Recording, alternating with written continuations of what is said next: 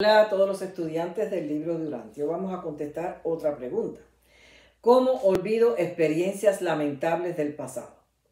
Comenzamos. Jesús les dijo a Natanael, uno de los apóstoles, que era lamentable que aquellos que enseñan la santidad y conocen la verdad acerca de nuestras limitaciones humanas, incluso las limitaciones de las escrituras, sufren de la cobardía moral y de deshonestidad intelectual, ocultando la verdad relativa de los libros sagrados razón por la cual pervierten y distorsionan las escrituras, tornándolas en guías de detalles esclavizantes de la vida diaria, produciendo temor y rebajando la dignidad del hombre en vez de inspirarlos. El que viene a la iglesia y se convierte por el temor a un castigo eterno no es salvo. Tampoco el que cree que con una simple oración de recibir a Cristo o una confesión y juramento público lo será. Estos son tipos de religiones basadas en creencias tradicionales y combinadas de sentimientos emocionales y culpas y en conciencias filosóficas y otras cosas inalcanzables en la carne. La verdadera religión de Jesús exige experiencia espiritual y viviente y requiere que poco a poco alcances niveles reales de progresión espiritual. El que siente el impulso de ser como Dios está en la verdadera religión. El sentir la emoción de ir a la iglesia a adorar a Dios no es la verdadera religión. La verdadera religión se refiere al destino y realidad de lo que se obtiene y de lo que se acepta totalmente por la fe. Y todo esto es personal mediante la revelación del Espíritu de la verdad. Es una transacción personal y sin intermediarios entre Dios y el hombre. Jesús nunca dijo recíbeme en tu corazón, sino decía tu fe en Dios te ha salvado. Ten al Padre en tu corazón o el, o el Espíritu del Padre mora en el hombre. El que cree en mí el, y el que cree el que, me, que me envió. Tuvo que enseñar un evangelio masticado nuevo porque eh, ellos era algo muy nuevo para ellos. Ya para nosotros no es tan nuevo, así que podemos entenderlo de una forma más profunda.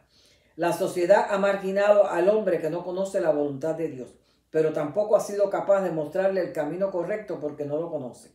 Por eso dijo Jesús, no puede un ciego guiar a otro ciego.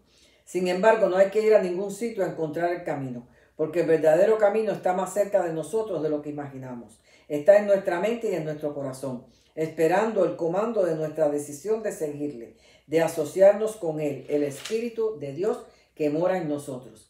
Y cuando tomamos la decisión de seguirle y asociarnos para que nos muestre su voluntad, nos muestra el camino a seguir, nos proyecta metas. Él conoce el camino al Padre porque viene del Padre puesto que de allí vino y allí desea regresar junto a nosotros. Pero si nos negamos, respetará nuestra libre decisión y regresará solo. La decisión es un pacto que se firma entre nuestro yo humano y el espíritu residente para trabajar de conjunto con la evolución del alma.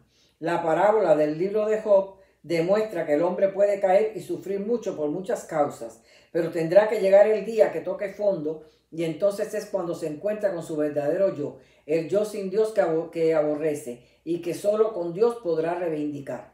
No sucede así con todos, porque hay hombres y mujeres que fueron enseñados desde niños a amar a Dios y a buscarle.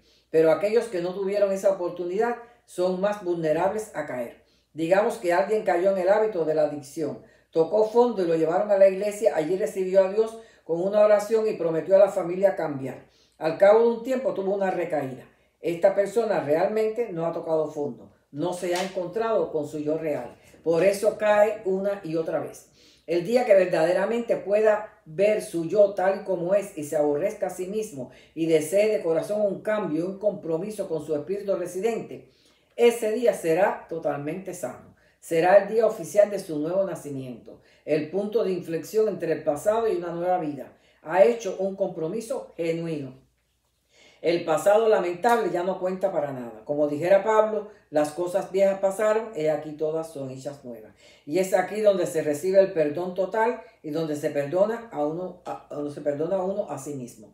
Y cada vez que recuerda lo que fue, da gracias a Dios y adora.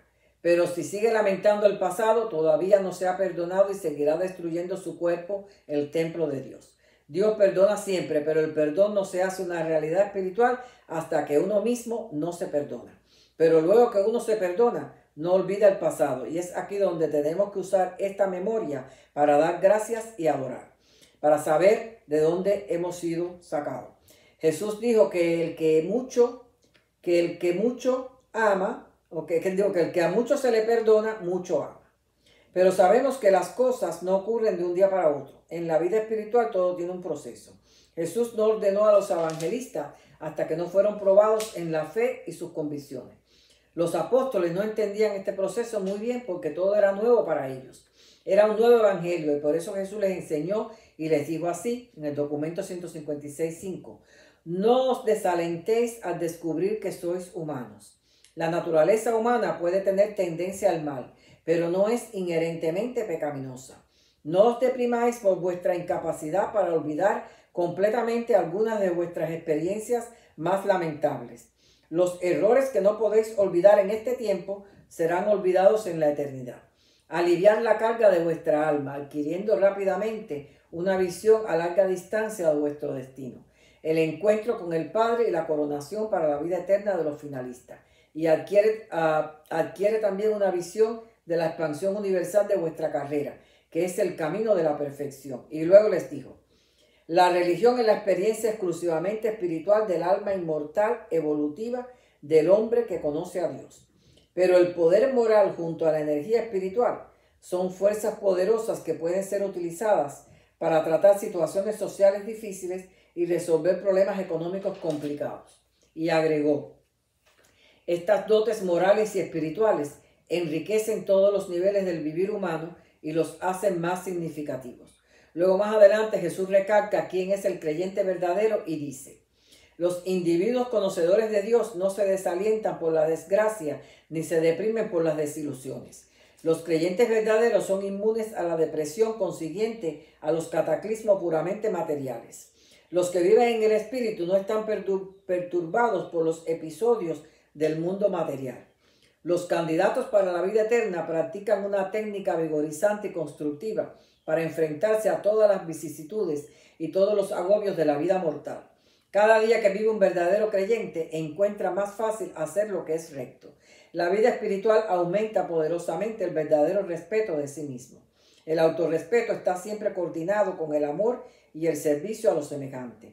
No es posible respetarse a sí mismo más de lo que se ama al prójimo. El uno es la medida de la capacidad del otro. Y entonces Jesús hizo una pregunta. ¿Son tus ideales suficientemente elevados para asegurar tu salvación eterna? A la vez que tus ideas son tan prácticas como para convertirte en un ciudadano útil que funciona en asociación con tus semejantes mortales. No esperó respuesta, era una retórica, sino que les recordó que en el espíritu su, ciudadanía es en el cielo pero en la carne aún soy ciudadanos del reino terrestre. Por tanto, dad acceso a las cosas que son materiales y dad a Dios las cosas que son espirituales. Y luego amplió esto diciendo, la medida de la capacidad espiritual del alma evolutiva es tu fe en la verdad y tu amor al prójimo. Pero la medida de tu fuerza de carácter humano es tu capacidad para resistir el resentimiento y soportar las cavilaciones cuando te enfrentes con la pesadumbre más profunda de cualquier índole. La derrota es el espejo verdadero en el cual puedes honestamente contemplar tu auténtico yo. La persistencia en la búsqueda de los valores divinos en asociación con el Dios residente en ti te ayudará a madurar espiritualmente y a dar los frutos del Espíritu. No es el pasado lo que importa, sino lo que eres ahora y lo que serás. No servimos solo al Dios de la existencia eterna, sino al Dios de todas las posibilidades de la existencia futura. ¿Cómo sabemos que estamos conscientes de Dios? Jesús dijo a los apóstoles, documento 156, el mortal consciente de Dios está seguro de su salvación, no tiene miedo a la vida, está libre de culpas, es honesto y constante, es justo, sabe cómo soportar valientemente los sufrimientos inevitables y no se queja al enfrentarse con dificultades inescapables. El creyente sincero no se cansa de hacer el bien, aun cuando está frustrado. Jesús dijo que Dios vive dentro del hombre. El libro Durante dice lo mismo desde el principio hasta el final.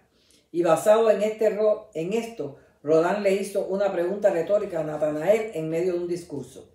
¿Cómo podemos pues inducir al hombre a liberar esos poderes de la divinidad e infinidad que lleva por dentro? ¿Cómo despertar esos poderes que yacen durmientes en vuestra alma? Y luego dijo de una, de una cosa sí estoy seguro, que la excitación emocional no es el estímulo espiritual ideal. La excitación no aumenta la energía, más bien la gota, los poderes tanto de la mente como del cuerpo. En otras palabras, el fanatismo religioso no te lleva a ningún lado, tampoco la histeria colectiva religiosa. Entonces lanzó otra pregunta retórica. ¿De dónde pues viene la energía que permite grandes logros espirituales? Y dijo, miren a Jesús. Él es nuestro ejemplo. Él está allí en las colinas orando y adorando, llenándose de fuerza. ¿Y nosotros? Nosotros estamos aquí gastando la energía. Esto está en el documento 163. Luego dijo, el secreto de todo este problema se encuentra encubierto en la comunión espiritual y en la adoración. Muchos dirán, no sé orar, no sé qué decir, no sé adorar. Simplemente recógete contigo mismo. Rodan dijo, desde el punto de vista humano es cuestión de meditación y reposo combinado. La meditación, el silencio, pone en contacto la mente con el espíritu. Y el reposo, el estado de quietud, determina la capacidad de receptividad del espíritu. El espíritu habla al alma en ese momento de quietud y silencio, y el alma después te dejará saber la voluntad del Padre. Luego Rodán concluyó, la meditación y el reposo es un intercambio de fuerzas que fortalece al hombre, que lo llena de valor, iluminando, eliminando el temor, que lo lleva a hacer la voluntad de Dios y no la de la mente carnal. Y esto termina en adoración. Y manteniéndose firme en estas experiencias, es que gradualmente esto se traduce en carácter espiritual y en una personalidad madura. Todos los, todos, los más espirituales y los menos espirituales, pasaremos por diferentes tribulaciones. Jesús dijo, no os prometo liberaros de las aguas de la adversidad, pero lo que sí os prometo es atravesarlas todas con vosotros. Mientras que obtenemos, mientras que obtenemos realidades eternas, tenemos que cuidar la vida temporal. Ambas van juntas, por eso Jesús dijo, dar al César las cosas que son materiales y a Dios las cosas que son espirituales. Cuida tu salud porque tu cuerpo es el templo de Dios. Ten pensamientos claros y limpios para que no caigas en el pecado y puedas discernir la voluntad del Padre. Ten habilidad y pericia para ganarte la vida tanto material como espiritual y no dejarte robar las ganancias. Cuida tus posesiones, tu trabajo, tu familia, tu casa. No te apegues a ellas, Dios primero. Ten habilidad para soportar la derrota, aprende de estas lecciones de vida. Busca la cultura, la educación, la sabiduría, el esparcimiento y todo a la luz del Espíritu.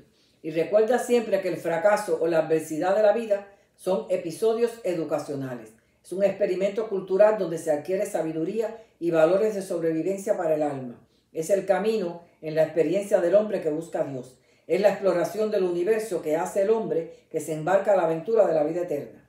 Y para estos hombres y mujeres no es más que el medio para el alcance de los niveles más altos de la realidad espiritual universal.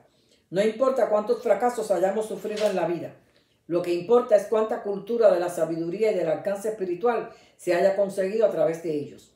Y si lo que lamentas es algo como lo que perdió Job, la familia, siempre es tiempo de construir una nueva.